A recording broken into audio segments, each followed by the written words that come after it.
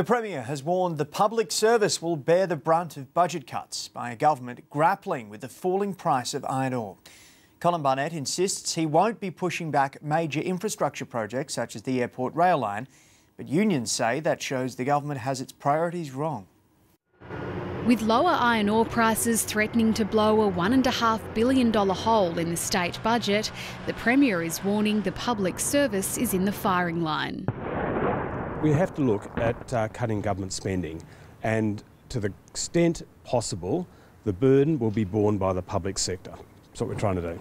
The government is expected to announce a range of budget measures in the mid year review in December. Colin Barnett won't be drawn on whether they'll include further public sector redundancies or another efficiency dividend, but unions say there's no more room for cost cutting.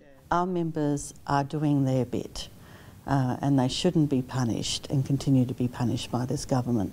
The opposition agrees. Make no mistake, more budget pain is coming for West Australians. That will be Mr Barnett's Christmas present to this state. The Premier denies the government has identified a hit list of projects that could be wound back to save money. And he insists there won't be any further delays to major infrastructure items such as the airport rail line. The projects that are coming up now that are committed to will proceed uh, into the longer term future. Yes, there will be some cutbacks on both recurrent and capital spending. Labor has scoffed at the claim, arguing more broken promises are on the way. Jade McMillan, ABC News.